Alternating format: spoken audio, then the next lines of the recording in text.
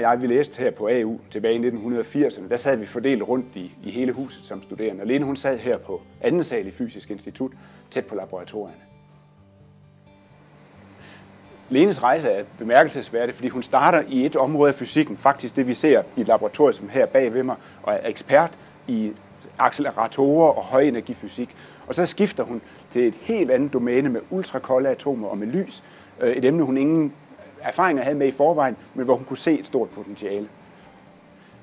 Som alle forskere har Lene selvfølgelig også skulle rejse ud, øh, men hun har så lavet et kæmpe karrierespring og går fra Aarhus Universitet, først til Roland Instituttet i Boston, og så over gaden eller over floden til øh, Harvard, hvor hun er professor i dag. Den første kontakt, jeg rigtig havde med Lene, udover at kende hende som medstuderende, var, at vi øh, sammen var en tur i Paris og besøgte nogle ekspertgrupper inden for et felt, jeg bevægede mig ind i selv.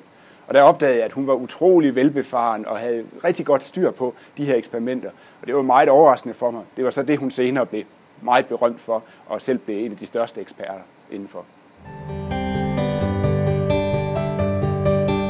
Det, som Lene hun gjorde, det var, at hun lavede en meget kold gas af atomer, det der hedder et Bose-kondensat, og som i øvrigt var observeret første gang, bare ganske få år tidligere.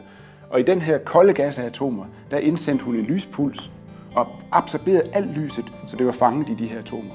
Og så kunne hun senere vælge at lukke lyset ud igen af den her sky af atomer. Hun havde altså stoppet lyset inde i sit Bose-kondensat. Det er bemærkelsesværdigt, at Lene hun bruger absolut frontforskning i atomfysik, et helt nyt system til at fange lyset med. Hendes forsøg er også eksemplarisk og pædagogisk, fordi man ser en lyspuls, der forsvinder og kommer igen.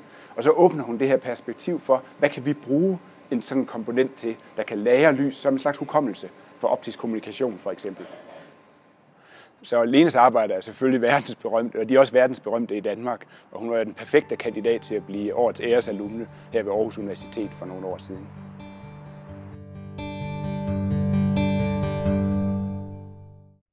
Har du gode minder fra din tid på AU? Del dine billeder med os på Facebook eller Instagram.